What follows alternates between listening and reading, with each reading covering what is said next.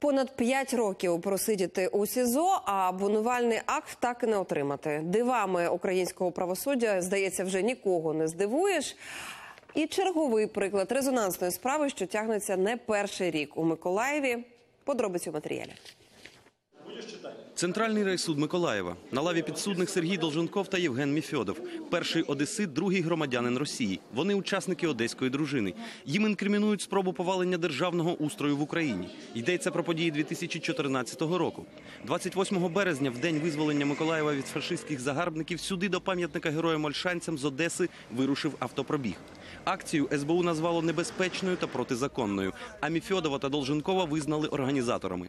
Однак за майже два роки реальних доказів скоєння злочину суду так і не надали. Пришли им, мол, приходят ребята, не наигрались все время в трех мушкетеров, да, и решили поиграть вот, уже во взрослом, во взрослом возрасте, решили опять поиграть в трех мушкетеров, потому что выглядело все, скажем, так, смешно.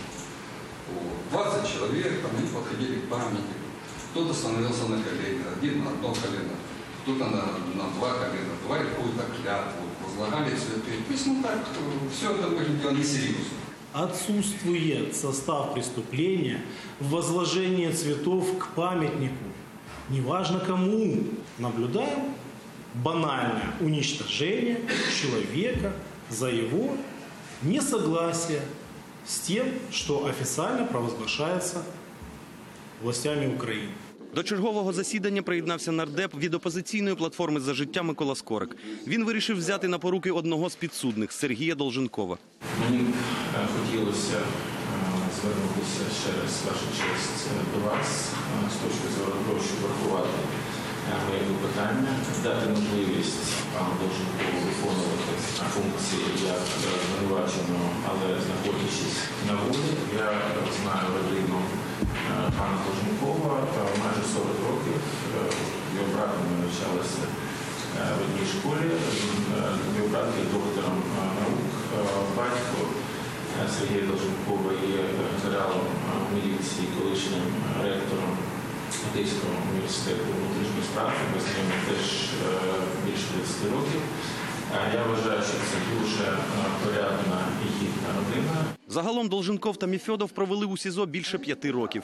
До цього були фігурантами у так званій справі 2 травня. Цей судовий процес нардеп назвав політичною помстою, а його затягування штучним.